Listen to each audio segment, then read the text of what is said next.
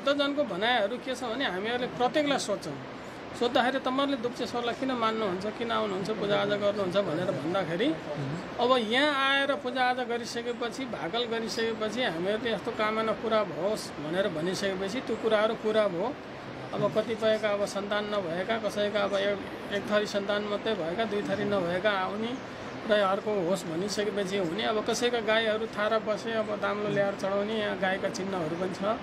अब यहाँ राखेर त्यो गाईका दाम्लाहरू लगेर गलामा लगाइदिइसकेपछि अब दुहुनु हुने फेरि त्यसैबाट चाहिँ त्यसकै दुधहरू ल्याएर चढाउँला भन्ने गरिसकेपछि त्यो कुराहरू पनि प्राप्त हुने र अब कतिपयका अब एसएलसी पास नभएर रोकिरहेहरू पनि आएर यहाँ भाकल गरेपछि पास भयो। हाम्रो छोरो यति वर्ष एसएलसी दिएको थियो पास भएन। यस मनोकामना जे सोचेको कुरा पुरा हुन्छ होइन? पुरा हुने भन्ने चाहिँ व्यापक भक्तजनहरूलाई हामीले सोद्धाखेरि यहाँ आएर पूजाआजा गरिसकेपछि र माग गरेका कुरा एउटा अब एकचोटि आउँदाखेरि अथवा कतिचोटि आउँदाखेरि एउटा कुरा माग गरेपछि चाहिँ पुरा हुने हस् हस् धन्यवाद। नत्र भन्ने चाहिँ अब त्यो त्यस्तो भन्ने। महादेवको बारेमा यहाँ पहिला एउटा गाई हराएछ अरे। हजुर। गाई हराएपछि त्यसपछि आएर गोठालाले गाई खोज्दाखेरि गाई भेटेन। हजुर। दिनभरि खोज्दाखेरि बेलुका सपनामा उसलाई यहाँ भगवान्ले उसलाई यहाँ- बहरामा आएर बसिरहेको भगवान्लाई दुध चढाएर आएको सपना देखेछ अरे।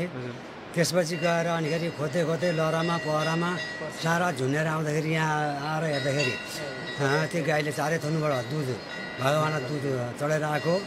त्यस्तो किसिमले देखेपछि अनि त्यहाँबाट ऊ त्यति गयो। अब गाई त जान सक्ने स्थिति त भएन लिएर जाने स्थिति भएन। त्यसपछि अनिखेरि भगवान्ले भगवान्लाई अनि त्यसपछि उसले गएर अनि धुमधुमार गर्नु यतात्यता गर्नु भएर यो मुङ्सिर पूर्णिको अँ, के धान्ते पूर्णि अघि नै चौधसी दिने कुरा रहेछ यो। त्यसपछि अनि त्यो सपना देखेपछि भोलिपल्ट भएपछि मे अनि जाँदा लाग्ने मेला लागोस् भन्ने भावना हो उसको पनि भयो। भगवान्ले त्यही उसलाई मनमा लगाइदिएछ।